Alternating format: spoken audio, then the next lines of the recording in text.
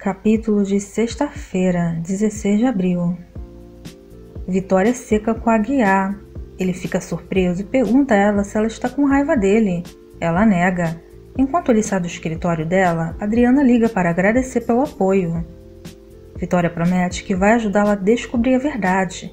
Adriana continuará procurando o médico que atendeu seu parto, enquanto aguarda permissão para abrir o túmulo. Agora tem um motivo para viver diz Adriana. Guzmão toca piano com Nick e ela sorri. Ele se afasta como se estivesse acordando de um sonho e repete: Você tem que se deixar levar pela música. Eles se aproximam lentamente e quase se beijam.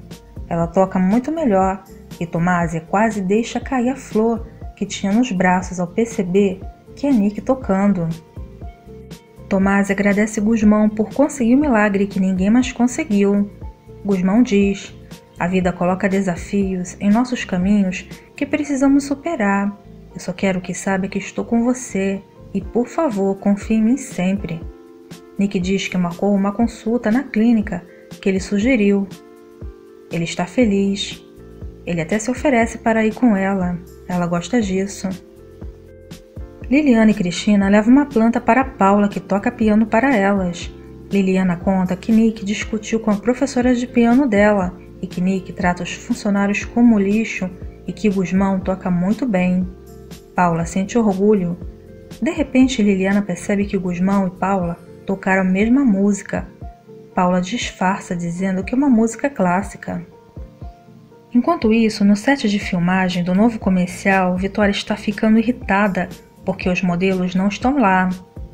Odete no telefone confirma que é responsável pelo não comparecimento do modelo masculino. Kendra diz a ela que é uma chatice ter que aparecer na filmagem, sabendo que o comercial não será feito. Stefano aparece e pergunta para a mãe: Por que você fez algo tão ruim? O filho de Odete diz que admira Vitória por seu talento e honestidade. Odete fica irritada. O sucesso da nossa empresa deve ser as minhas atividades. Não vou permitir que ninguém questione as minhas estratégias. Você fica na sua área, desenhando e colorindo. Poliana encontra Guzmão na cozinha e se declara e o abraça. Liliana chega e assiste um pouco da cena. Nick entra e os insulta. Liliana fala com as plantas. Ele sempre vai me olhar como uma garotinha.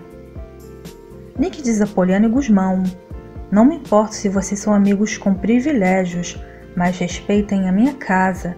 Na verdade, vocês dois me causam tédio. Gorila da quinta categoria.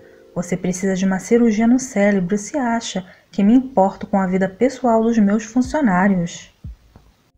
Vitória se preocupa com o prejuízo que terá se não arrumar um modelo masculino para o novo comercial. Kendra chega e se faz de difícil para Nelson. Ela pensa: Eu vou te deixar tão louco que você vai querer se divorciar de Vitória por mim. De volta ao set comercial, o produtor e o diretor continuam pressionando Vitória para que eles comecem a gravar. Ela ouve a guiar rindo. Ele está experimentando as jaquetas dos modelos masculinos. Nick insiste que Poliana e Guzmão tirem uma noite de folga e se divirtam. Aproveite a sua noite louca, não uma sugestão, é uma ordem. Eu quero que vocês dois se multipliquem juntos por zero, diz Nick. Poliana planeja o passeio à noite. Guzmão não está entusiasmado. Nick está no quarto e acha que não deveria ter confiado em Guzmão. Na cozinha, Poliana avisa Liliana que ela e Guzmão vão sair hoje à noite. Guzmão diz: Não conte com isso. Talvez a senhorita mude de ideia e me peça para ficar. Vitória pede a Guiar um favor.